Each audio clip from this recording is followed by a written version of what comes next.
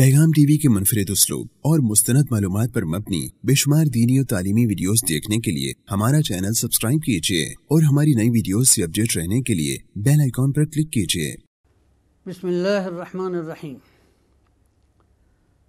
الحمد للہ رب العالمین والصلاة والسلام على سید الانبیاء والمرسلین وعلى آلہ وصحبہ اجمعین۔ اما بعد حدیث اور اعجاز حدیث کے سلسلے میں ہم یہ ذکر کر رہے ہیں کہ حضرت محمد الرسول اللہ صلی اللہ علیہ وآلہ وسلم کا خصوصی معجزہ وحی الہی ہے۔ تمام انبیاء علیہم الصلاۃ والسلام کو اس وقت کی ضرورت کے مطابق معجزات عطا ہوئے۔ اور حضرت محمد الرسول اللہ صلی اللہ علیہ وآلہ وسلم کو ان معجزات کی مثل بھی معجزات عطا ہوئے۔ حضرت محمد الرسول اللہ صلی اللہ علیہ وآلہ وسلم کے معجزات کی تعداد شمار نہیں کی جا سکتی۔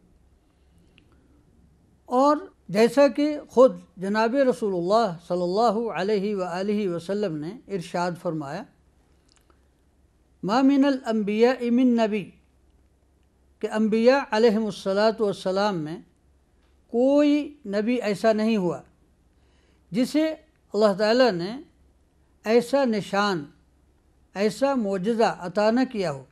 ما آمن علی مثلہ البشر، کہ جسے دیکھ کر انسان ایمان لے آئیں اور فرمایا کہ جو مجھے عطا ہوا، وہ اللہ تعالیٰ کی وحی ہے۔ تو وحی الہی، یہ نبی اکرم صلی اللہ علیہ وآلہ وسلم کا خصوصی معجزہ ہے۔ اور ہم یہ بھی تفصیل سے بیان کر چکے ہیں کہ وحی صرف کتاب کی صورت میں ہی نازل نہیں ہوتی۔ اللہ تعالیٰ نے جناب رسول اللہ صلی اللہ علیہ وآلہ وسلم پر وحی کا ذکر کرتے ہوئے فرمایا، انا اوحینا الیکا کما اوحینا الی نوح والنبیین من بعد کہ اے محمد صلی اللہ علیہ وآلہ وسلم، ہم نے تمہاری طرف ویسے ہی وحی اتاری، جیسا کہ ہم نے نوح علیہ السلام اور ان کے بعد آنے والے انبیاء پر وہی نازل کی۔ اور یہ ہم اللہ کی توفیق سے تفصیل کے ساتھ ذکر کر چکے ہیں کہ انبیاء علیہم الصلاۃ والسلام پر وہی ایک کتاب کی صورت میں بھی ہوئی اور اس کے علاوہ بھی انبیاء علیہم الصلاۃ والسلام پر وہی نازل ہوتی رہی۔ حضرت موسیٰ علیہ السلام کو جہاں کتاب کی صورت میں تورات عطا ہوئی، تو حضرت موسیٰ علیہ السلام کی طرف صرف تورات ہی وحی نہیں ہوئی، اس کے علاوہ بھی کتنی وحیوں کا ذکر قرآن حکیم نے کیا کہ حضرت موسیٰ علیہ السلام نے فرعون کے دربار میں جو عصا پھینکا، وہ اللہ تعالیٰ کے حکم سے تھا۔ وَأَوْحَيْنَا إِلَى مُوسَىٰ أَنَ عَصَاكَ۔ کہ ہم نے وحی کی موسیٰ علیہ السلام کی طرف۔ ظاہر ہے، یہ تورات کے نزول سے بہت پہلے تفصیل ہم ذکر کر چکے ہیں۔ تو حضرت محمد الرسول اللہ صلی اللہ علیہ وآلہ وسلم پر بھی جو وحی نازل ہوئی، وہ قرآن کی صورت میں بھی ہے اور حدیث یہ بھی ساری کی ساری حضرت محمد الرسول اللہ صلی اللہ علیہ وسلم پر نازل ہونے والی وحی کی ہی تعبیر ہے۔ اور حضرت محمد رسول اللہ صلی اللہ علیہ وسلم کا ایک ایک قول، آپ کا ایک ایک فعل اور آپ کی تقریر یعنی آپ کے سامنے کوئی بات کہی گئی، آپ کے سامنے کوئی عمل کیا گیا، تو آپ نے اس پر نکیر نہیں کی، آپ نے اس میں تبدیلی نہیں کی، یہ بھی اللہ تعالیٰ کی وحی پر مبنی ہے۔ حضور نبی اکرم صلی اللہ علیہ وسلم کا دین کے بارے میں ایک ایک قول اور آپ صلی اللہ علیہ وسلم کا اس بارے میں ہر عمل، حتیٰ کہ آپ کی تقریر یعنی خاموشی بھی وحی الہی پر مبنی ہے۔ اور یہ ہمارا دعویٰ نہیں۔ قرآن حکیم نے یہ شہادت دی ہے کہ جناب رسول اللہ صلی اللہ علیہ وآلہ وسلم کی زبان مبارک سے جو کلام بھی دین کے بارے میں صادر ہوتا ہے، وہ در حقیقت وحی الہی کی ترجمانی ہوتا ہے۔ ارشاد باری تعالی ہے۔ وما ينطق عن الهوى ان هو الا وحی یوحا کہ وہ یعنی حضرت محمد صلی اللہ علیہ وآلہ وسلم، اپنی خواہش سے ہرگز کلام نہیں کرتے، وہ تو صرف وہی ہے جو ان پر نازل ہوتی ہے۔ اسی طرح آپ صلی اللہ علیہ وآلہ وسلم دین کے متعلق جو بھی عمل کرتے ہیں، اس کے پس منظر میں بھی وحی الہی کار فرما ہوتی ہے آپ صلی اللہ علیہ وسلم تو صرف حکم الہی کی تعمیل کر رہے ہوتے ہیں ارشاد باری تعالی ہے وَإِذَا لَمْ تَأْتِهِمْ بِآيَةٍ قالوا لو لجتبيتها قل انما اتبع ما يوحى الي من ربي هذا بصائر من ربكم وهدى ورحمة لقوم يؤمنون اور اے جب تم ان کے پاس کچھ دنوں تک کوئی آیت نہیں لاتے، تو کہتے ہیں، تم نے اپنی طرف سے کیوں نہیں بنا لی؟ کہہ دو کہ میں تو صرف اسی حکم کی پیروی کرتا ہوں جو میرے پروردگار کی طرف سے میرے پاس آتا ہے۔ اور یہ قرآن تمہارے پروردگار کی جانب سے دانش، بصیرت اور مومنوں کے لیے ہدایت اور رحمت ہے۔ اسی طرح سورہ الحقاف میں فرمایا کہ اے محمد صلی اللہ علیہ وسلم، کہہ دو کہ میں کوئی نیا پیغمبر نہیں یعنی جس طرح مجھ سے پہلے رسول آتے رہے، میں بھی اسی سلسلے کی آخری کڑی اور قصر نبوت کی آخری اینٹ ہوں، جس سے قصر نبوت پائے تکمیل کو پہنچنے والا ہے، تاہم اس مرتبے اور مقام کے باوصف، میرے پاس علم غیب تو نہیں، میں نہیں جانتا کہ میرے ساتھ کیا ہونے والا ہے اور یعنی اس دعوت کا انجام کیا ہوگا اور مجھے کیا کیا مرتبے عطا ہوں گے اور تمہارے ساتھ کیا کیا جائے گا۔ میں تو اسی کی پیروی کرتا ہوں جو مجھ پر وہی آتی ہے۔ میرا کلام تو اعلانیہ ہدایت کرنا ہے۔ اسی طرح سورہ یونس میں ارشاد فرمایا وَإِذَا تُتْلَى عَلَيْهِمْ آيَاتُنَا بَيِّنَاتٍ قَالَ الَّذِينَ لَا يَرْجُونَ لِقَاءَ نَأْتِ بِقُرْآنٍ غَيْرِ هَذَا أو بدل قل ما يكون لي ان ابدله من تلقاء نفسي ان اتبع الا ما يوحى الي انی اخاف ان عصیت ربی عذاب عظیم کہ اے محمد صلی اللہ علیہ وآلہ وسلم اور جب ان کو ہماری آیتیں پڑھ کر سنائی جاتی ہیں تو جن لوگوں کو ہم سے ملنے کی امید نہیں، وہ کہتے ہیں کہ یا تو اس کے سوا کوئی اور قرآن بنا کر لاؤ یا اس کو بدل دو۔ تو اے محمد صلی اللہ علیہ وآلہ وسلم، تم کہہ دو کہ مجھ کو اختیار نہیں ہے کہ اپنی طرف سے بدل دوں۔ میں تو اس حکم کا تابع ہوں جو میری طرف آتا ہے۔ اگر میں اپنے پروردگار کی نافرمانی کروں تو مجھے بڑے سخت دن کے عذاب سے خوف آتا ہے۔ تو اس میں بھی گویا کہ آپ صلی اللہ علیہ وسلم کی ایک ایک عمل کی متعلق یہ قرآن کی گواہی ہے کہ یہ وحی الہی پر مبنی ہے۔ اسی طرح آپ کی تقریر بھی وحی الہی پر مبنی ہوتی ہے۔ یعنی اگر کوئی کام آپ کے سامنے ہو یا کوئی بات آپ کے سامنے کہی جائے اور آپ اس پر نکیر نہ کریں اور خاموش رہیں، تو یہ خاموشی بھی ایک شرعی دلیل ہے۔ اس لیے کہ اگر اس میں کوئی قباحت ہوتی اور اللہ تعالیٰ کو وہ بات منظور نہ ہوتی، تو اللہ تعالیٰ اس معاملے کو ایسے نہ رہنے دیتا۔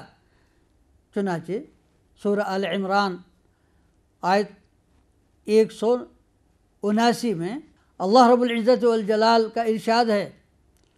ما كان اللہ لیذر المؤمنین على ما أنتم علیہ حتى يميز الخبيث من الطيب. وما كان الله ليطلعكم على الغيب ولكن الله يجتبي من رسله من يشاء. فآمنوا بالله ورسله وإن تؤمنوا وتتقوا فلكم أجر عظيم.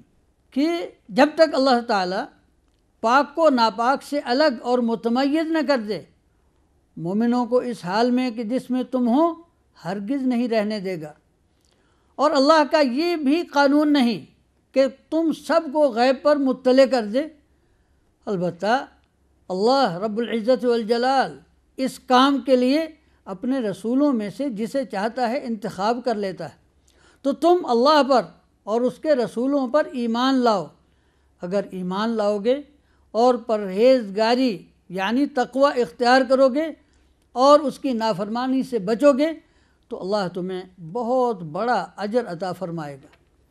اب اس میں جو فرمایا کہ ان تؤمن و تتقو کہ اگر ایمان لاؤ اور تقوی اختیار کرو، یاد رکھیے، ایمان اور تقوی سنت اور حدیث پر ایمان لائے بغیر نہیں آ سکتا۔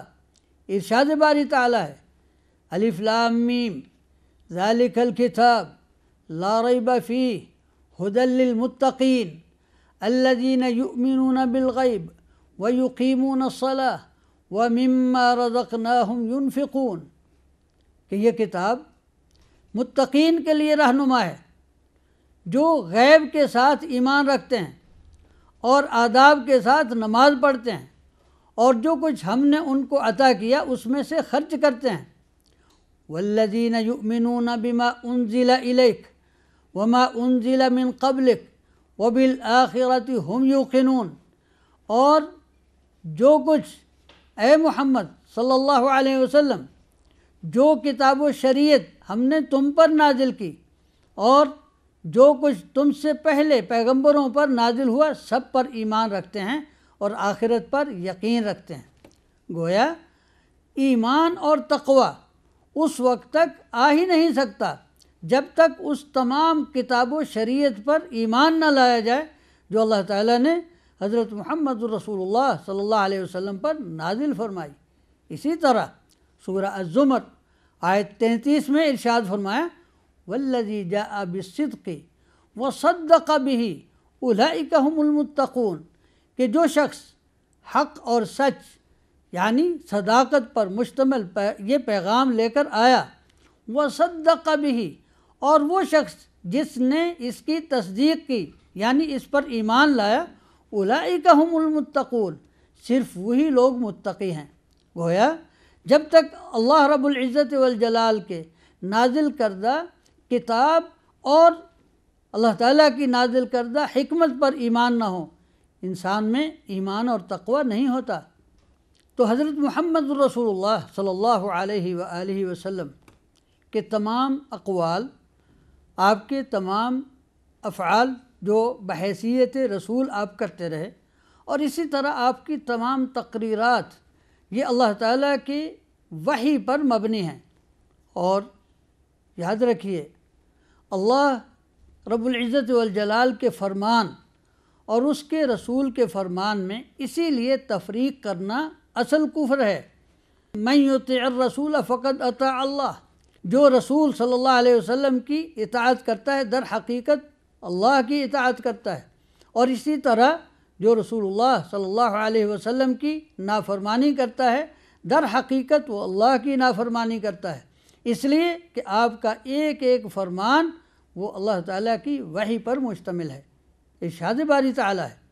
ان الذین یکفرون باللہ و رسولہ ویریدون ان یفرقوا بین اللہ و رسولہ ویقولون نؤمن ببعض ونکفر ببعض ویریدون ان یتخذوا بین ذالک سبیلا اولئک هم الكافرون حقا وَأَعْتَدْنَا لِلْكَافِرِينَ عَذَابًا مُحِينًا یہ سورہ نساء کی ایک سو پچاس نمبر آیت ہے۔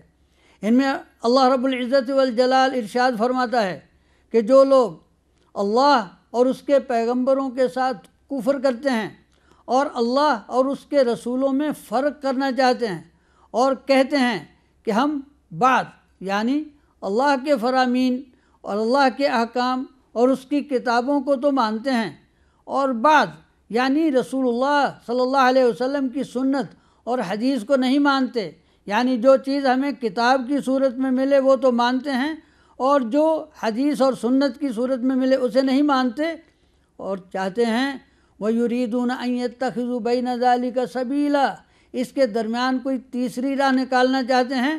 اللہ فرماتا ہے اولئک ہم الکافرون حقا۔ دراصل یہی لوگ کافر ہیں۔ اور اس میں، اور انہیں یاد رکھنا چاہیے، وَأَعْتَدْنَا لِلْكَافِرِينَ عَذَابًا مُحِينًا۔ اور ہم نے ایسے کافروں کے لیے ذلت کا عذاب تیار کر رکھا ہے۔ تو وحی الہی یہ اللہ رب العزت والجلال کا فیصلہ ہے۔ اللہ اعلم حیث یجعل رسالتہ۔ اللہ تعالیٰ اپنا پیغام جیسے چاہے اپنے بندوں تک پہنچائے، وہ کتاب کی صورت میں پہنچائے یا اپنے رسول صلی اللہ علیہ وسلم کی سنت کے ذریعے پہنچائے، انسانوں کا کام اس حکم کی تعمیل کرنا ہے۔ اس وہ اللہ رب العزت والجلال کو یہ نہیں کہہ سکتے وہ ڈکٹیٹ نہیں کرا سکتے۔ وہ تو بات ان کافروں جیسی ہوگی کہ جو اپنی پسند کے نشانات، اپنی پسند کی آیتیں، اپنی پسند کے معجزات طلب کرتے تھے۔ اللہ رب العزت والجلال نے فرمایا، اللہ عالم حیث یجعل رسالتا۔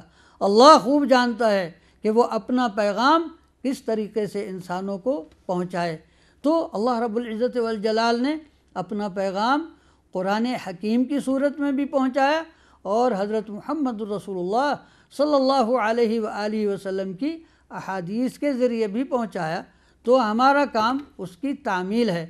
تو انشاءاللہ اگلی مجلس میں ہم یہ بیان کرنے کی کوشش کریں گے کہ حدیث میں مذکور بہت سے احکام کو قرآن حکیم نے اللہ کا حکم ہونے پر شہادت دی ہے۔